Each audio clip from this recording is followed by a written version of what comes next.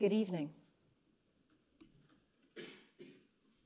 On behalf of the Saïd Business School Board, it is my great honour to welcome you all to this inaugural Rewley Lecture Theatre and Dinner. We are delighted to say that this evening's lecture will also be live streamed via LinkedIn. This evening, we're here to celebrate the wonderful achievements of this school, as well as some of the most valued relationships. With us this evening, we have the change makers, the ones who believed and continue to believe in our vision.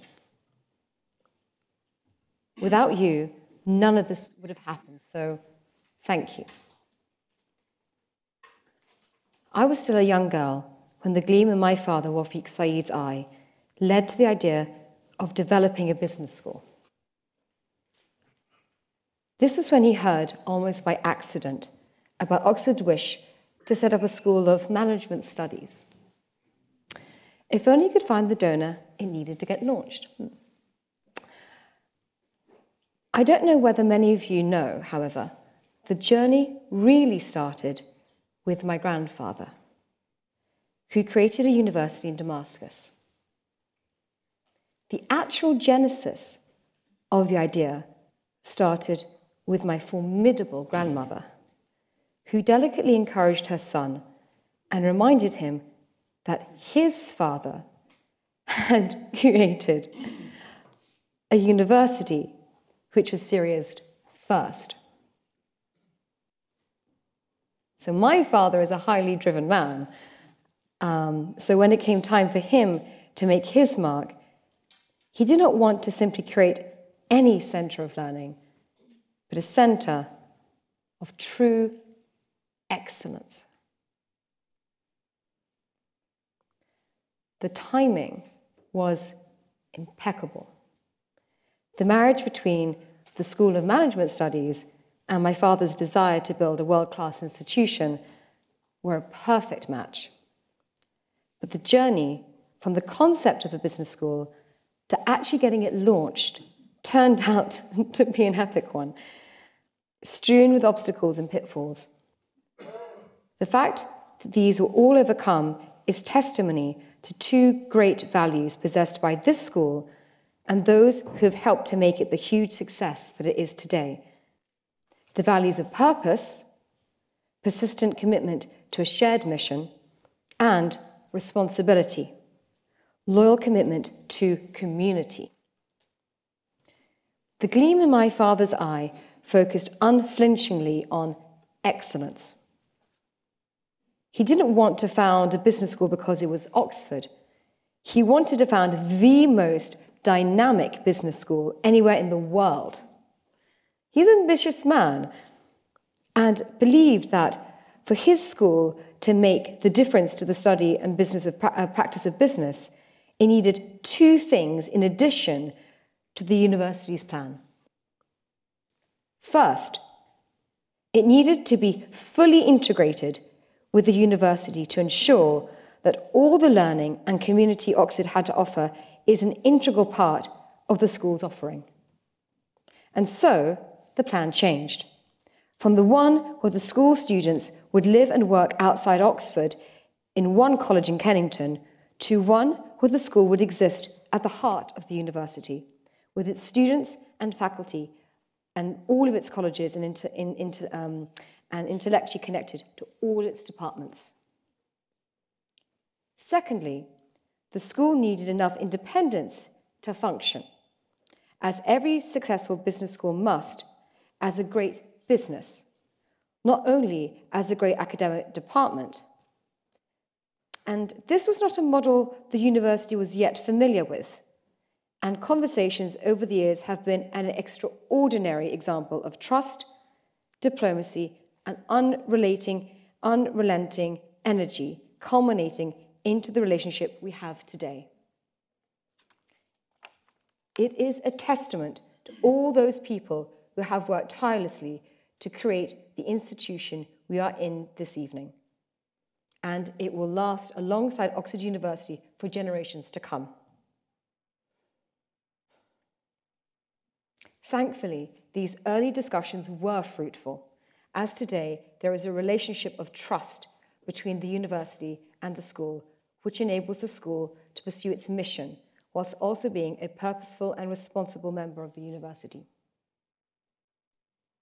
At the school, no one has done more to shape and realize the agenda than our incredible Dean, Peter Tufano, whose leadership of the school has been an inspiration to us all. Today, even my father is satisfied that the excellence he foresaw has been realized. As a family, we could not be more proud. I could not be more proud. Not only of this excellence, but of the school's leadership in driving forward responsible business, young entrepreneurship, and the role of business as a force to resolve world scale problems. Thank you for showing me what is possible with drive and determination. I'm very grateful to you. Of course, the journey continues, and most recently, many of you in this room, alongside my father, have pledged support to ensure that the school's next building, the redeveloped power station, becomes a further milestone on the road to providing Oxford answers to world challenges. These are exciting times for the school, and, we're on the, and we on the school board are delighted to have you all with us on this journey. Thank you all. And who better to lead us as we continue along our challenging yet exhilarating journey than Paul Polman, our new chair? There are few better exemplars of the best, most responsible style of business leadership. Throughout his career, including as CEO of Unilever, Paul has clearly demonstrated that responsible business is also good business. His track record has resulted in a string of awards and accolades and puts him in great demand as a leader of some of the most influential bodies working to encourage a better way of doing business. He and the school are a perfect match for each other, and we are absolutely delighted that he will be with us in this next hugely exciting phase of the school's development. We are all tremendously thrilled to see what will come in the next phase of the school's development under his stu stewardship and guidance. Who could be better to deliver the first Rewley lecture? Who more fitting to talk to us about how we can all act purposefully and responsibly in responding to world challenges? Ladies and gentlemen, please join me in welcoming our new chair, Paul Polman.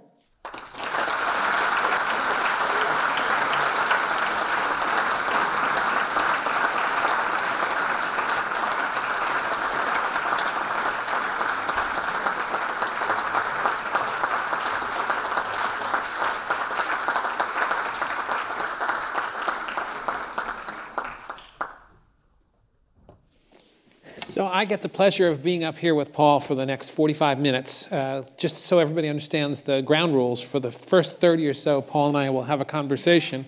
And the last 15, it's over to you. Now, you are in this room, but you're also on LinkedIn Live, and you, some of you may be in an overflow room. And so, what we'll be doing is taking questions from the audience, but also, I'm not going to be checking emails, but I will be checking questions uh, that uh, you'll be sending along. There'll be a, a, a hashtag up there for a little bit on with the, uh, the evening. Uh, we have good governance in the school. And so when it was time for us to find a new board chair to, you know, after Howard Stringer, who's here, had done such a wonderful job, um, I did a bad thing. I, I, took out a sheet of paper and I wrote one name on that sheet of paper. Um, now, there was a full process with a full committee and lots of names. But when it was all done, I was thrilled that the name on that sheet of paper at the very beginning was the name of the person sitting here. Because I couldn't think of a boss that I'd rather work for than Paul Polman. So everything that Rasha said, let me just underscore that. Um, tonight, we're about answering the call. Um, and we Rasha talked about world scale problems. And if you watched the film that was up here beforehand, you'll know that that's some of the themes that we're going to talk about. So, Paul, first of all, thank you for, for coming and thank you for chairing the school. But let's start with the challenges that the world's facing. You have been one of the most clear uh, uh, articulators of the issues that the world is facing right now. And then you've helped to write the playbook, as it were, the U- UN SDGs. Um, there's 17 different SDGs. How do you make sense of all the things that we have to do, and how would you prioritize what needs to be done in the world right now? Yeah.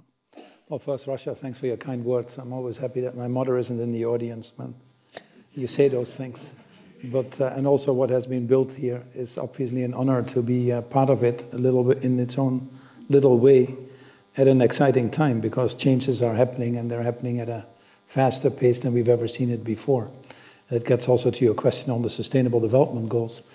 In uh, 2015, 193 countries came together at the UN and, and actually signed these Sustainable Development Goals, which is quite a feast because it's very difficult nowadays to get any global agreements of any magnitude. And uh, in the absence of us having governance at a global level that functions, we have a moral framework now that is called the Sustainable Development Goals. And the objective of the goals came actually out of Kofi Annan's idea in the year 2000 to take a 15 year period from 2000 to 2015 to develop what was called at that time the Millennial Development Goals, but had a very simple objective to halve the number of people living in poverty. And that was defined at that time as $1.25 a day. And we actually achieved that. Obviously, China was a big part of it, but many others. But these Millennial Development Goals were very much towards the developing markets, and they were the issues of that time that needed to be addressed. Eight simple goals. Uh, then in the year 2015, a little bit before that, actually, at the Rio Plus 20, some people got together, some countries got together and said, well, if we have half the number of people in poverty, why don't we use the next 15 years to finish the job? You know, Apollo 13 didn't go halfway and said, you know, let's go home because the food is better. Or Usain Bolt didn't stop in 50 meters and said, I'll do the other 50 meters another time. So it's really absolutely feasible to finish the job, and that's really what the Sustainable Development Goals are all about. The overall objective is best captured by saying to irreversibly eradicate poverty and doing that in a more sustainable and equitable way. 17 goals, 169 targets, and that is a little bit the complexity of the world right now. Some people are overwhelmed by that, and uh, I know some of the CEOs are, and we're trying to keep that communication fairly simple and effective, but that is what it takes. The most important uh, so, so the most important thing, obviously, is goal number one, that is poverty alleviation. Uh, there's, there's two burning issues in this world that are expressed in these goals that for me are priorities, which is goal number one, which you could argue is inequality, and the other one is climate change. And they are actually two sides of the same coin. Uh, it's very easy to explain that the devastating issue of climate change that we're dealing now with in all parts of the world, obviously, very uh, prevalent is affecting the poor far more than anything else. And we're at the moment again in history where we're actually driving more people into poverty as a result of that. So people like Greta Thunberg who say, why, do I should, why should I go to school if you guys are doing things and creating a world I can't live in anyway, is obviously an extreme position of that. But there is an element of truth in that. And, and it permeates all the things. Like if we don't detect climate change, then uh, obviously we're destroying our nature, we're destroying our land, we're destroying our oceans. Uh, the poor people suffer most, women and girls are pushed back. Uh, it affects sanitation, water, health, and as a result, uh, the, the overall sustainable development goals will be very difficult to achieve. The reality is we're five years in, the plane is well on the runway, but we haven't even heard the engines rev. Uh, the reality is since the Paris Agreement, which dealt with goal number 13, climate action, our emissions have gone up even further. Uh, we, any of the agreements that the countries have signed at that time, besides that most governments have changed at a speed that is un, unheard of nowadays, uh, we've actually had none of the governments, with a few exceptions perhaps, but none of the governments of substance that have actually fulfilled any of those commitments. And that is a little bit dangerous because 2020 is the year that every country needs to come in with higher ambition. So that's what we're focused on now. And you're getting now to the bizarre situation a little bit that I think the private sector is starting to run ahead of the uh, governments in terms of wanting to implement that because they internalize these costs apparently quicker than, than governments do. Stay with the, with the challenges that the world's facing. You are a master of facts. You and I were together on Monday. You spoke to three different audiences. You reeled off facts around the number of trees in the world, um, the loss of species, and on and on. In fact, somebody who was at one of the meetings with me remarked afterwards, is, How do you know all this? Um, but the other thing is, how do we communicate? How is it that we communicate to the world what's going on? Are facts enough? What's the communication strategy that's going to take in order for more people to buy into the agenda that needs to be done? So it's a whole discussion, a separate discussion, what facts are nowadays, and that's also a, a, an art that has developed in, in alternative facts that make the issue a little bit difficult, and we elect politicians that seem to be good at it in some countries in the world uh, this country not excluded from it. But, but um, so, so um, let's just not go to the discussion of facts or not facts, but let's just go to science. You know, you have climate change. You have 97% of the scientists in this world that are in agreement that there is an issue. I'm not sure that the scientists or the academics in this case, uh, the people that work the IPCC reports, as they are called, doing themselves a favor, because anytime a scientist writes down something, there are 10 ifs and buts and we can't 100% be sure, but we're nearly sure. And the scientists, in this case on climate change, I think have positioned it very scientifically, but not in a language and not in a certainty that is, is uh, unfortunately needed. And the reality is that every IPCC report that has come out has understated the risk versus what is happening uh, in reality. I mean, we now have the we have fires in the Arctic, we have uh, the permafrost melting, we have forests being destroyed at a higher rate than, than we'd ever expected. And, and the reality is that we are actually very close to what some people would argue would be a negative feedback loop. And the scientists have always said, even when we discuss with them, yes, but we always have to leave a little bit of a sense of doubt, or we cannot take a position because we're scientists, and that hasn't helped in the process. So the result is that there are some skeptics still in the, in, in the world, and how do you communicate with them or drive them into action? The first thing I would say myself, at least to myself, is you know you have to decide your most precious commodity that you have is time. So you have to you have to decide where you spend your time. And actually, the skeptics are becoming significantly less. They get a share of voice that is disproportionate because the, the media obviously, obviously likes to jump on that. But in reality, there's fewer and fewer than you think. In the US now, we're just trying to get a coalition together to run some ads so that the US understands what it means to go out of the Paris Agreement. But 77% of Americans want the US to stay in the Paris Agreement. Uh, even amongst the Republicans, 80% think, over 80% think that climate uh, crisis that we have is a man-made issue. So the way to talk to people that are skeptics, if you want to spend too much time on that, which I don't think you should, but the first thing is not different from Brexit here, etc. When you have these debates, whatever side of the debate you're on, I think we have started to not communicate with each other, but to shout at each other.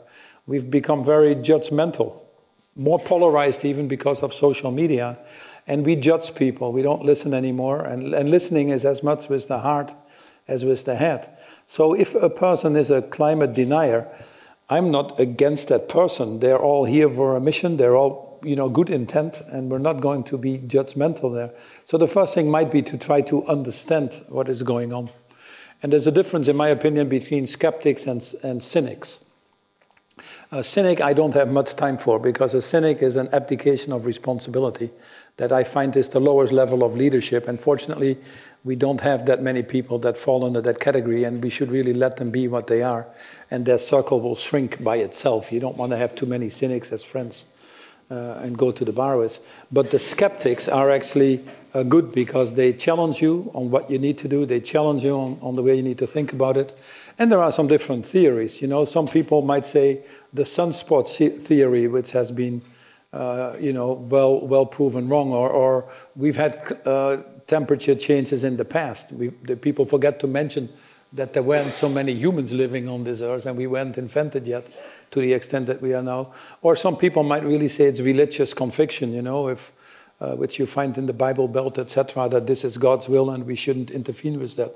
So people have different opinions and try to understand them, try to keep the tone positive and, and um, try to get these people on board, not on the issue of climate change or making them scientists, but try to get them into specific issues that are of relevance to them as well. I find, for example, air pollution is a very easy one to say. You know, if you now live in Delhi, it's not a pretty picture. You know, 10 of the 20 most polluted cities are in India. And, uh, and London is one of the three most polluted cities still in Europe, next to Moscow and Rome. So, you know, if people understand that it's not a good thing that 8 million people prematurely their, lose their lives because of air conditioning, or uh, air pollution. Uh, deforestation, people understand. Uh, having more plastic in the oceans than fish is, is not a good thing, it's easier to understand. And um, so you, you just bring it down to the reality and you talk opportunities. Most people, especially in the business community, where you still find a lot of skeptics or people who really don't see the issue affecting them and as a result not really interested in the science, etc. You just talk risks and opportunities and that seems to be uh, ringing a bell with them. So you tailor your messages. With this administration, I actually went to the White House because I, I thought I could never criticize them if I don't do everything within my powers to convince this current president to stay in the Paris agreements. And I, that was one of the few nights in my life I didn't sleep. I like to sleep during the night to be functioning during the day, but that one didn't work. And I, you know, I thought, what, what would you do? And, and at the end of the day, uh, we didn't succeed because it was like, what do you have for me? And you know, are you going to invest more and all that? Whilst the reality is already we have 3.3 million jobs in green energy in the U.S., which is three times more than than fossil. Um, you know, more more jobs are created by an infinite. Uh, we have 4,000 uh, governors, uh, sub-state level cities, businesses that have signed up to the Paris targets. We have citizens shouting out, the financial market moving, employees walking out. You can read now the papers every day. Um, the Jeff Bezos signed his commitment to be on the Paris trajectory by 2040 but that's because otherwise 2,000 employees would have walked out. Google employees are now pressuring. So you're seeing phenomena happening that I think the whole world starts to get into action. And businesses are starting to understand it's a good thing. You know, just to move to green energy, I've never had a compromise in my time in Unilever. We're 100% green energy. But, but um, in most of the world right now, you can have solar and uh, wind at a cheaper price than coal you could actually decide, which we should, to obsolete every coal plant, and it wouldn't be a tough financial decision. So if people don't believe in it at all, and they are totally skeptics, I'm starting to think as I talk, I would just talk the same language as Trump. You know, they're casino builders, they're constructors. So you just have to talk the language of a casino, I guess. And you have to just say to them, for example, okay, well, let's look at the last five years or 10 years or the years moving forward. And there are more extreme um, temperatures, more extreme colds as a result of climate change that some people don't understand, and more extreme warms. So these demagogues come into Congress with an ice ball in their hands and say, you know, look, what is global warming? And Trump has used that. So you just say to them, you like casinos, you like building casinos.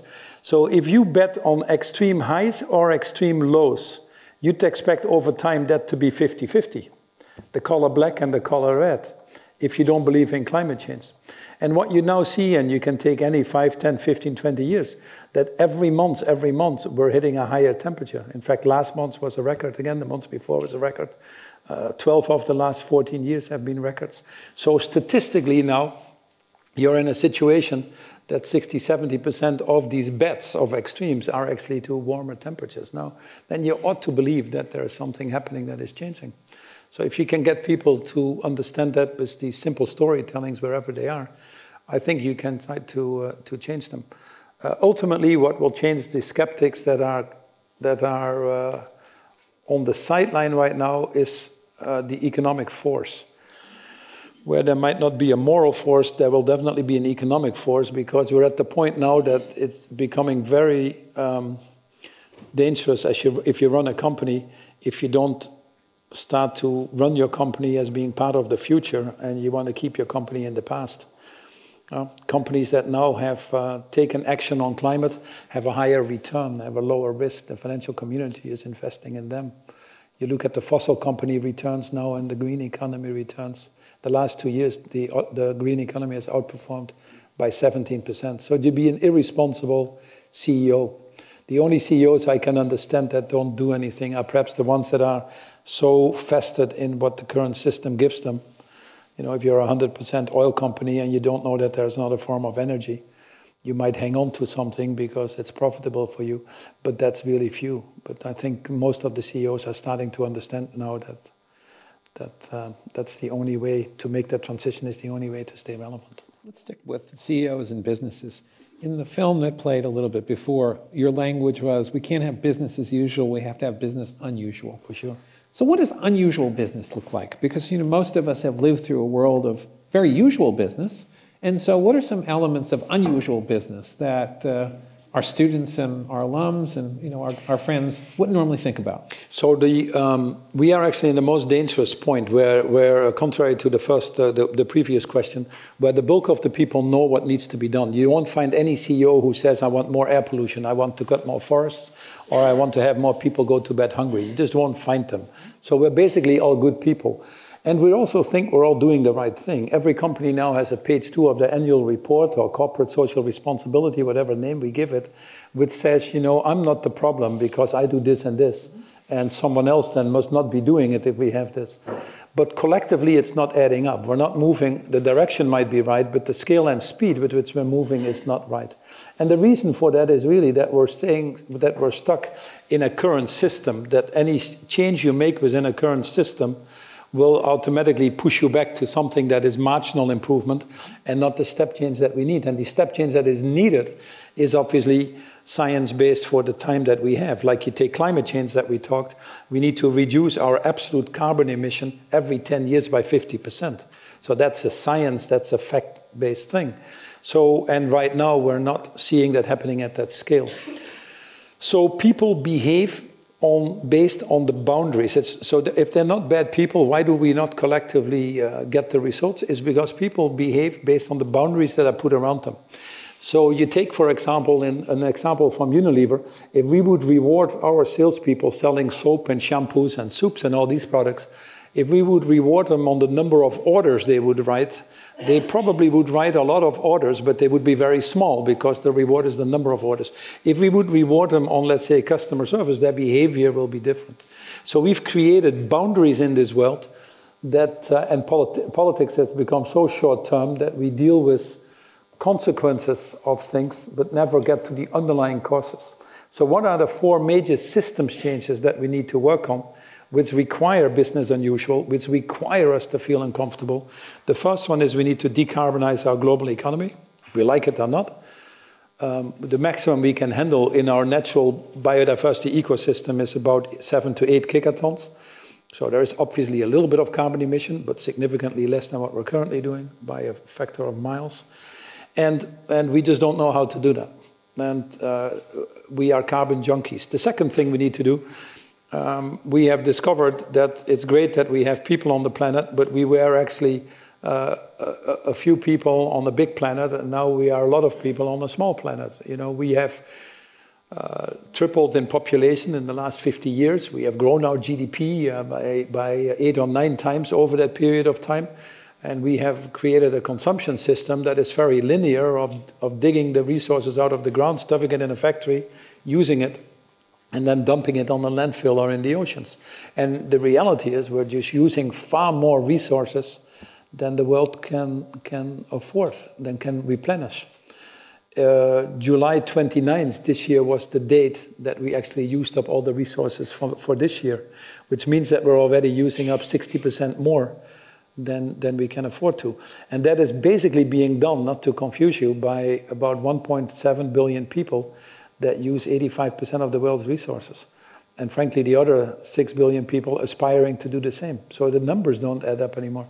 So the second big systems change that we need to make is move from a linear economy and consumption pattern to a circular. And I would argue that soon people will discover that circular is not enough, but that it has to be regenerative.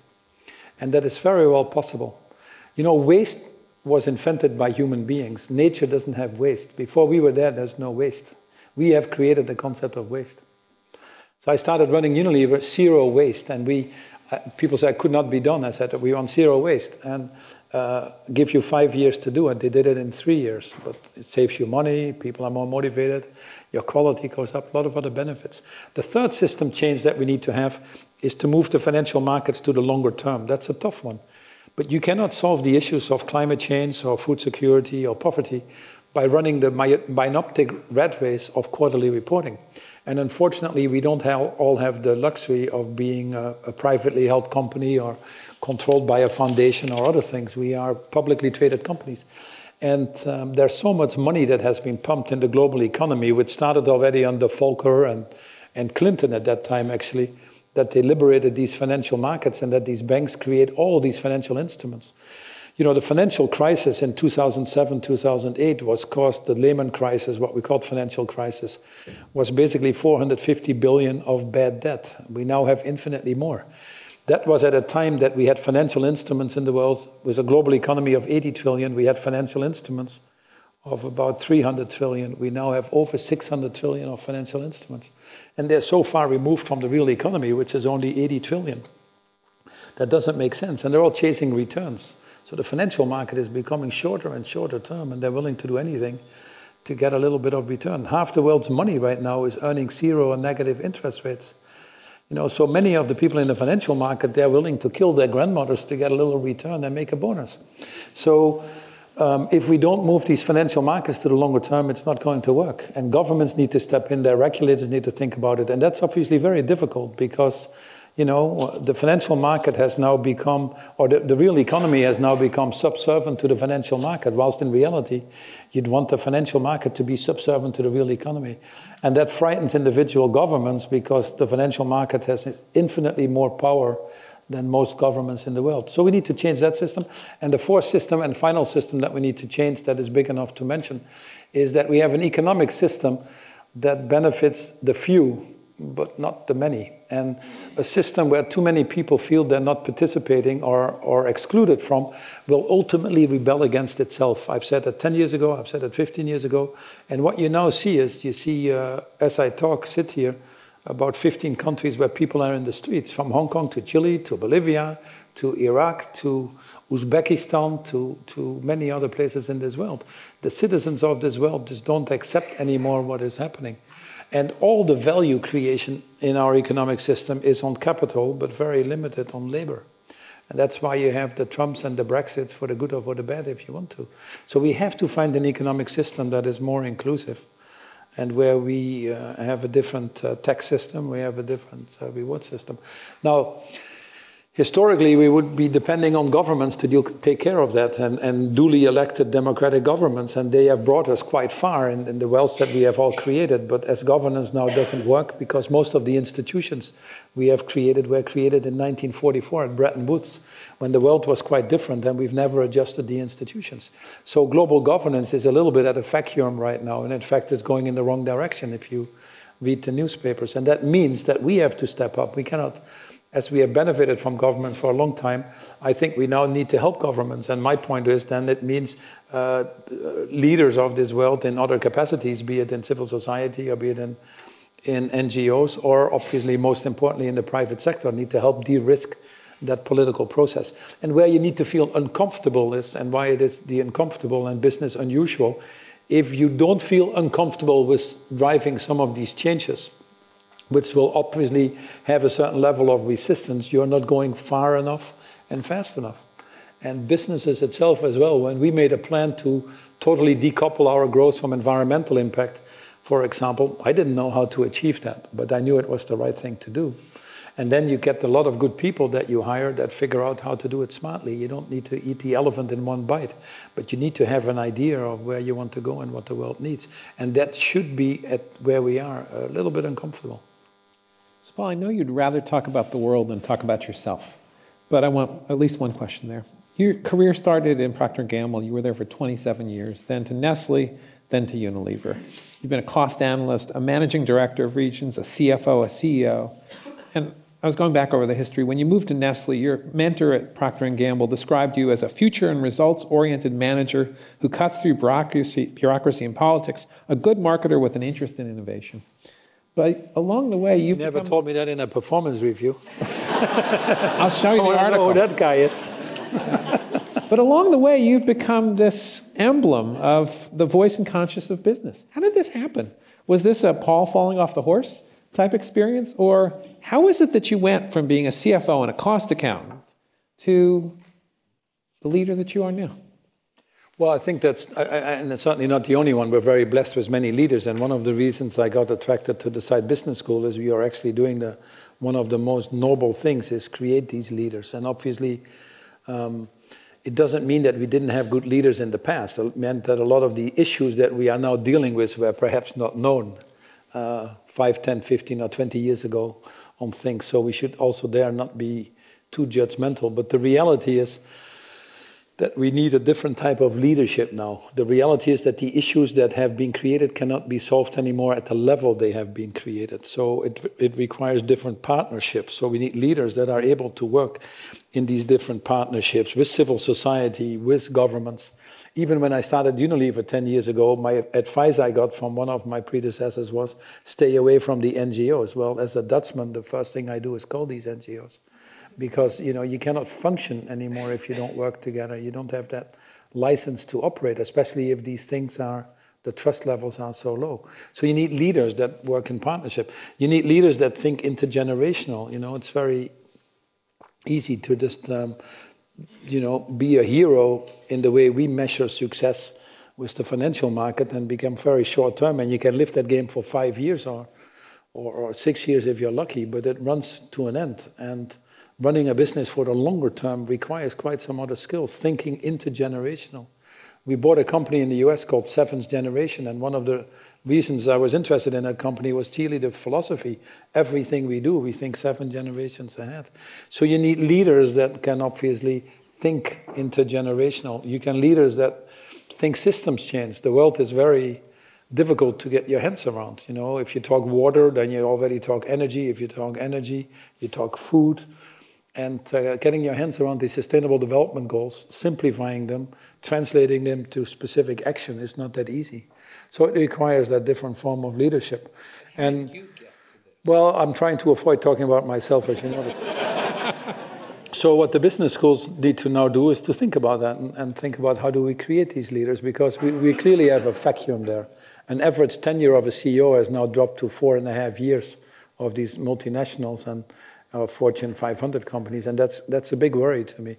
So how do I get to this as nothing else than anybody else? In, in your life, you have a lot of crucibles. My parents met in Boy Scouts, so I was always in Boy Scouts my whole life, so I got a certain appreciation for nature and planet Earth. We grew up just after the Second World War. When I was born in 56, I thought that was a long time after the Second World War. But the older I get, I notice how close it was after the Second World War. But you know, their whole goal was my father worked in a factory. Their whole goal was to get their kids. And he, uh, by the way, he worked in a factory because he was a reasonably intelligent man. But the, the war had taken his school away. He absolutely missed school, living on the German border in the Netherlands at that time. So if your high school is taken away, your university is taken away, a lot of possibilities are taken away. So their goal was not only peace, why we created Europe, uh, their goal was also to ensure that the other generation, the next generation, would be better off than themselves. And they were unselfishly investing in us. They, they showed what it meant, you know. They understood that uh, greed might be good to some, but generosity is better. So they were community people. They were church people. They were helping the poorer people. They were connected to nature and understood the harmony, and they had a vision of what it should be for next generations.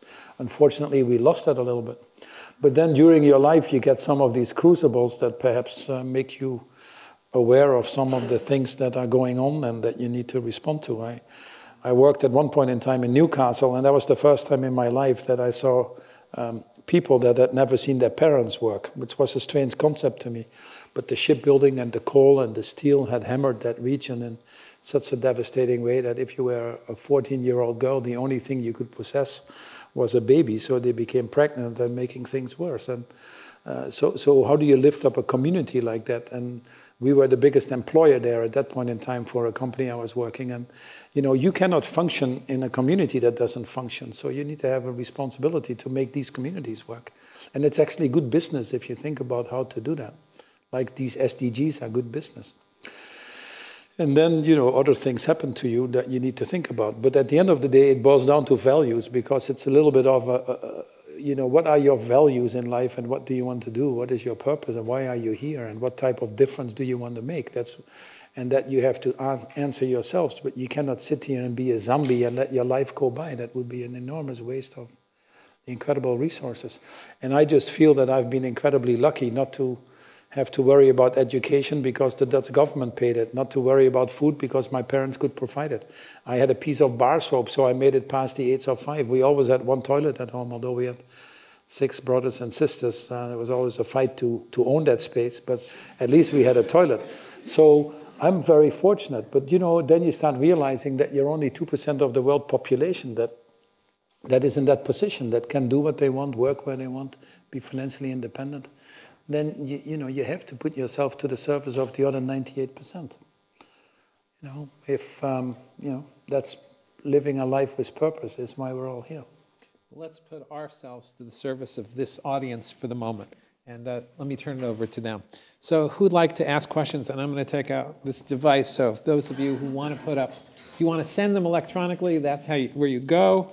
Um, but uh, those are usually the tougher questions. Those are usually the tougher questions. Um, and uh, we will uh, kind of, but we're also taking questions from the audience. So who'd like to get started? Okay, there's, there's two right there. Let's do the person on the right, uh, closer to you, yes. Um, is this on? Yep. Yep. Uh, thank you both very much. Uh, thank you, Paul. Uh, my question is about um, leadership traits, I guess you could say. You mentioned during your talk that it's often hard to find solutions inside a system that created problems. And I want to speak to something I'm going to call feminine leadership. And by that, I don't mean leadership necessarily espoused by women, but simply those that are often associated with feminine traits. Um, there's growing support for a more feminine leadership paradigm that emphasizes communication, compassion, and empathy, uh, potentially understanding um, others and consequently considering all stakeholders. Now, this compares with the typically uh, masculine conceptions of leadership. Can we make it a quick question? Yeah, yeah, yeah it's quick.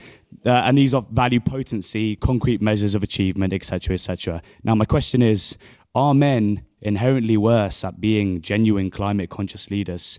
And do you perceive uh, conventional conceptions of masculinity as a barrier to corporate leadership change and broadening stakeholder considerations?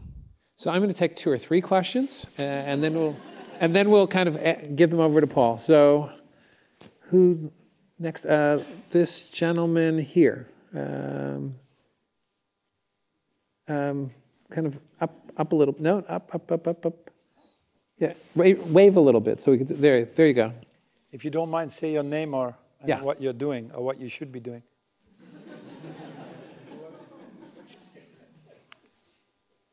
Yes, I'm. Yep. I'm, I'm Chris Mafidon. I supervise research in technology. I just wanted to find out what role you think technology will play in answering these big questions than real, real problems. The question is, sorry? Sorry, I missed it too. Sorry. Yeah. What role do you think technology yeah. will sorry. play? I got that. Sorry, sorry. Yeah. Okay. Third question. Actually, uh, Great. I, I suppose, there we go. Um, yeah. Up there. Yeah. Hi. Is this on? Is this on? It is on. You've okay. got one in your hand. Go right ahead. Hi there. Uh, real privilege to hear you speak and very inspiring. So thank you very much. Um, I'm a medical student here at Oxford. I wanted to ask about your four system changes. I can see how a number of them you can work through them in a sort of step by step process. But in particular, that fourth one, the one that I think is, is the real sort of crux issue, I'm unclear as to how you could achieve that. That seems more like a paradigm change rather than something that could be done incrementally in little steps. So I'm wondering whether or not you could lay out what you thought a pipeline towards that could be. So that fourth one, particularly about individual participation and disillusionment with um, stakeholder capitalism, shall I say? Okay, that seems like a, a pretty good uh, set to start with. Um, and we have about 10 minutes total here, so um, we'll try to answer these and then we'll go to a few more. So I keep it uh, very short, but the, the first one, there's now, I think, overwhelming evidence. You don't need to really um, um, show that anymore. That um, if your organizations are better in uh, gender balance, you also have a better performance.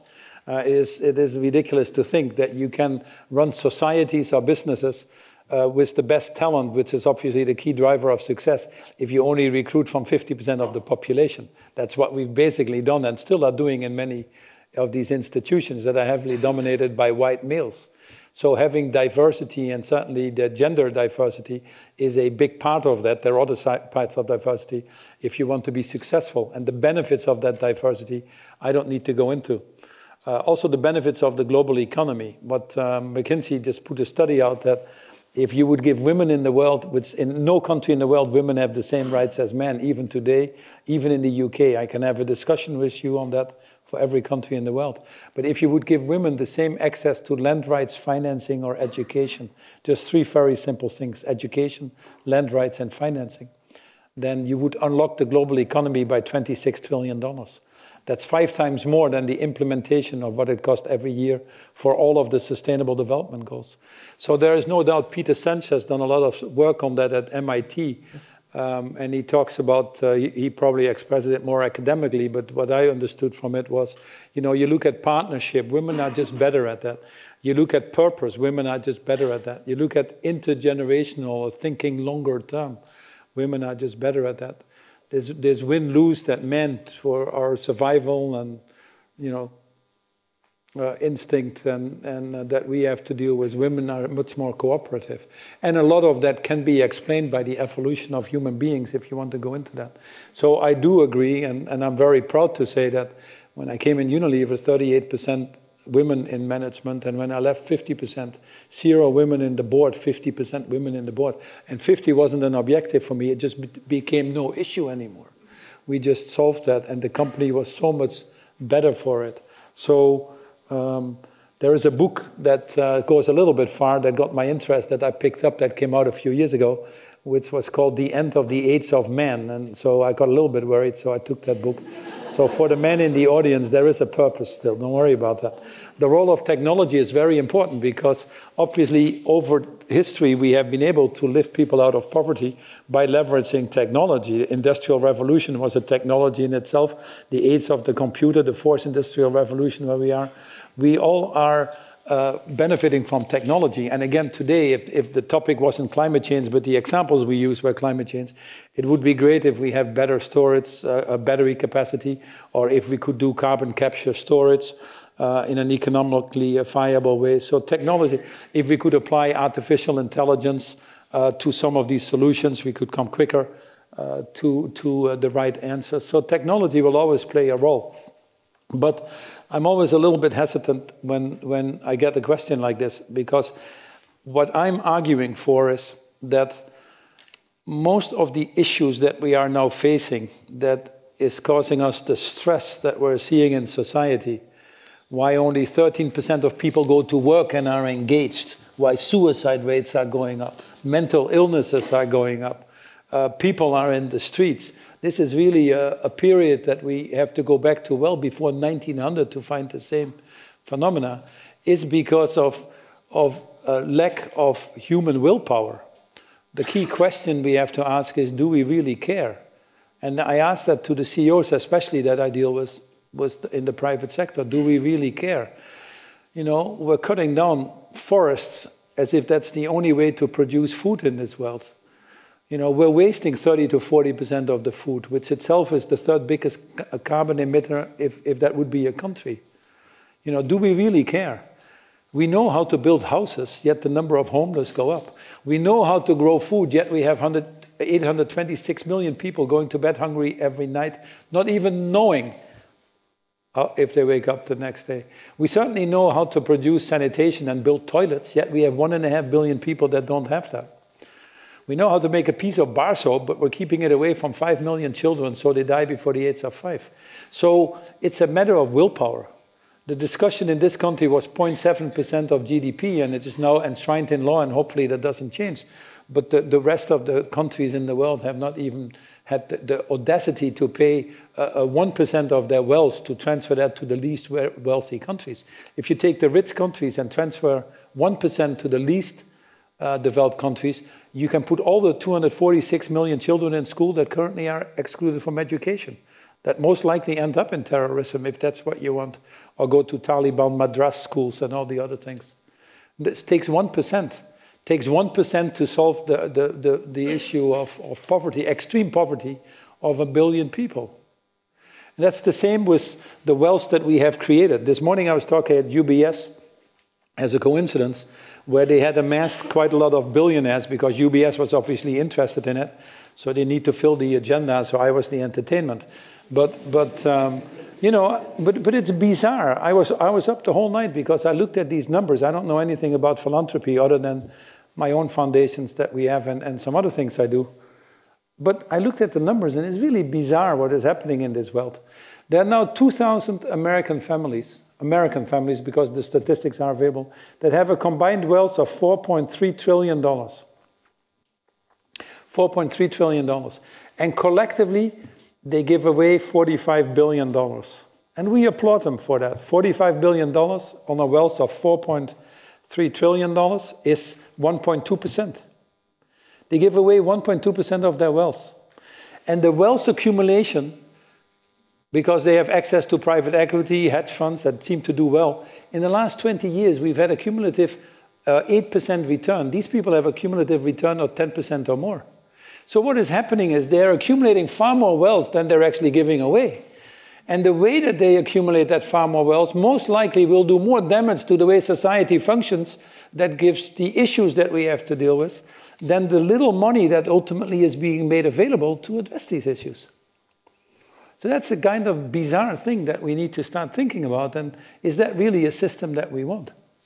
Is that really a system that we want? It's, a, it's just a question that, that we need to answer.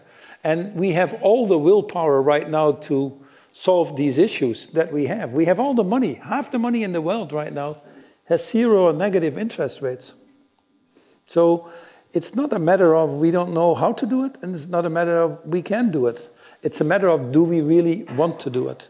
And anytime we walk past a homeless person, we have to ask ourselves, you know, what are we doing to solve this? By staying silent, by not being active on some of the issues that we have by being participants in food waste or, or, or plastic uh, overconsumption, whatever you have. You are complicit to murder nowadays. You're complicit to driving other people into poverty.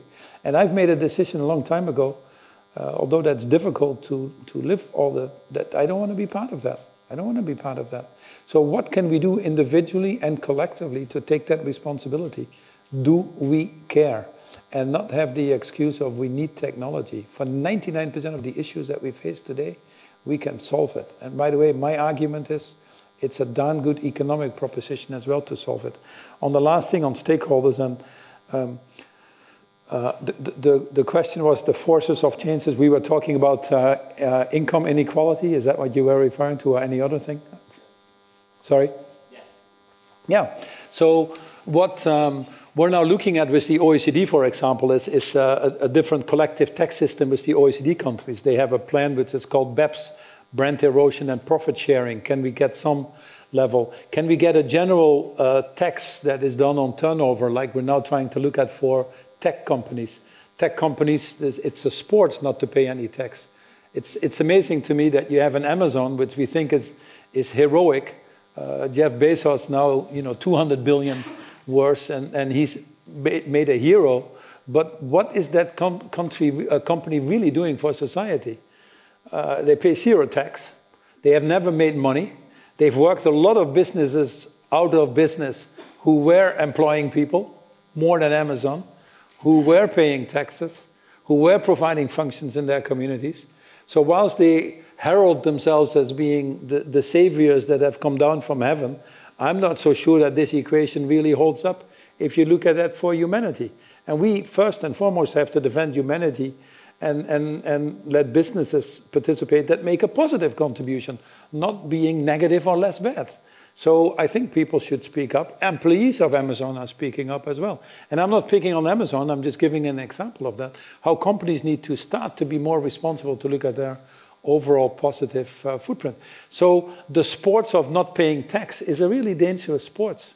At Unilever, we had a 300% return over the 10 years that I was CEO. It's not something I'm proud of. It's something that we did by running a business for all the multiple stakeholders over a longer period of time Uh, it was a good business model also for returns. But I was proud to pay 27% tax. If you go back to the Unilever books, 27% tax. I was the only company in the UK and I think globally who's putting out its tax principles on the website. So people can see how we look at that and be transparent about it. But so companies need to have a new social contract with society. They need to be proud to pay a certain level of tax. Now you might say, then it's, it's um, uh, unfair competition. I pay tax, others don't pay tax. I understand that. If you don't want that, then be part of a movement with CEOs to start changing the system. You know, I pay pensions in Unilever employees have pensions everywhere in the world. So I pay pension to someone who works for us in Vietnam. If the Vietnamese government doesn't have pension systems, you might say I'm at a disadvantage. I don't think so personally. I think our employees are down more motivated and happy to work for us, less turnover, whatever, higher, higher productivity. But I also work with the Vietnamese government to put pension systems in place because I think that's normal. So you work on changing the system. So when businesses sit here, they cannot aggravate themselves by fomenting the issues that they're to some extent complaining about and then not wanting to be participants in driving that change. I think that doesn't work anymore if you move forward. And we need to get more of the CEOs to understand that because otherwise they're not only being voted out of office, their companies are being voted out of business. So these are the movements. The big movement we're now creating is about just transition. Talks about attacking corruption, talks about implementing human rights in the value chain, talks about paying fair share of taxes. What's wrong with that? Why can't we have these discussions and why can't we say it's a good thing that we should figure out collectively how to do this? Why should we shy away from that? It doesn't make sense to me. You know, there are many companies that think that they can outsource their value chain and by doing so also outsource their responsibility. I brought a, a 50 CEOs once together of the biggest retailers and biggest manufacturers. And I said, here is John Ruggie's you know, uh, principles of human rights, which are darn good principles. They're actually enshrined with the UN uh, and also translated for what it means for business. Do we want to sign that? And do we want to collectively work on that? Because value chains are very difficult, very untransparent. And no, we can't. And we get the lawyers, and people will attack us. And if we sign something, but by not signing that, you actually agree with what is happening. You agree to slave labor, you agree to sex trade, you agree to child labor. But you're saying basically it's okay. If it is okay, is it okay also for your own children then? Oh, no, no, oh, no, we are different. We're living on these little islands of prosperity and we don't really care of the sea of poverty. Doesn't work anymore. So we have to bring these people to higher moral levels. That's why we're at Saïd. That's why we have the Colin Mayers or the Bob Eccles, the books like Prosperity, to get people to think about a different level of morality. What appeals to me in Saïd Business School was that you have the Bradford next door, you have the Smith School and all the others, that we can go to social sciences, political sciences, and create these leaders, create these levels of morality that we need to run the world for the benefit of everybody why I asked Paul to be our chair.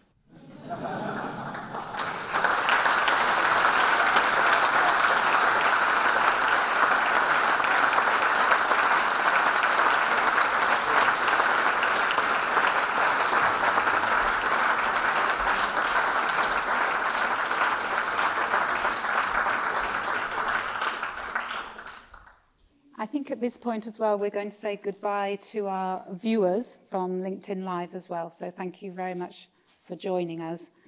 Um, on behalf of everybody here in the theatre and the adjoining rooms as well, I'd like to say a huge thank you to Paul Polman and Dean Peter Tufano. Paul, in particular, I would really like to thank you for your precision, your focus, and above all, your straight talking. I I think for myself, it's the straight talking that makes the possible seem closer. I know you said it's a Dutch trait, but it really is the thing that cuts through, and that was really part of this evening's conversation. So the challenges are clear, and what's also clear is the need for purposeful leadership, which these times demand if we're to navigate our way to the solutions, and we talked about that as well this evening. And it's for that reason that we're so energized and committed at the school to the new Global Leadership Centre, the project which is now just getting underway. Housed in the power station, just five minutes from here, the station that brought the first electric light to the city, this fantastic new executive education facility is important to the school because having a space matters. We have convening power, but what this building gives us is a convening space. And that means that the global leaders can come to Oxford to engage with our academics and with each other and to find the answers that we've been talking about today. So it's the value of that space that we're really interested in.